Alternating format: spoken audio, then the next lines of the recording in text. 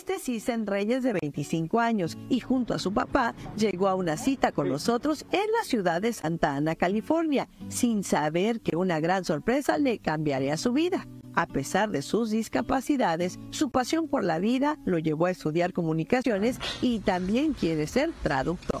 El tener un micrófono en la mano eh, es una responsabilidad enorme porque no solamente comunicas a la gente, sino eres un vocero de, de su vida, de sus historias y eso es lo que, lo que fascina.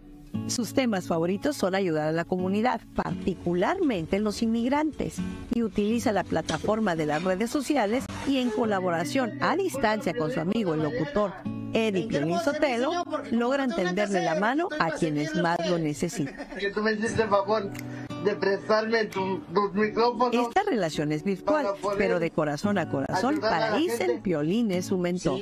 Perseguir una cadera en general, en comunicaciones o en general, para una persona con discapacidad es un poco complicado porque a veces no se cuentan, no se tienen las, las ayudas necesarias Isen tiene toda la capacidad de aprender y estudiar cualquier carrera, pero necesita un acompañante que lo guíe por el campus universitario. Automáticamente de la prepa ya se acaba esa ayuda. Y si hay las agencias, como ahorita, sí la tengo, pero como le digo, es nada más dos días a la semana. Al presente, Ise no ha estado estudiando por falta de un chaperón.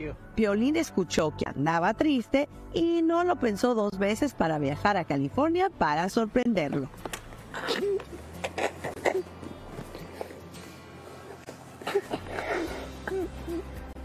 ¿La comiste, mucho?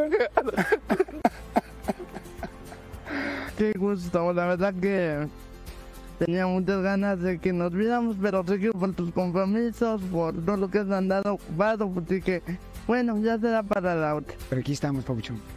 Y me da mucho gusto verte otra vez. Y ya te quiero dar este abrazo fuerte, fuerte, fuerte, campeón. Lo que yo admiro es de que él nunca me pide nada. Nunca, o sea, no pide nada. No más que yo me enteré que él necesita, pues, encontrar, ¿verdad?, esa persona que le puede ayudar para obtener su certificado para ser un traductor profesional. Entonces yo me comprometo a hacerlo. Al corazón de Isen ha vuelto la esperanza de comenzar a lograr sus metas. Lo digo con toda la humildad. Yo sé el nivel de alcance que tiene.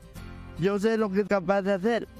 Pero yo dije, yo no necesito nada. O sea, yo lo único, lo único que quería, y de hecho ayer nos comunicamos para, eso, para ver la posibilidad de ayudar a otra persona, porque dije, o sea, hay que seguirle dando a, al portal.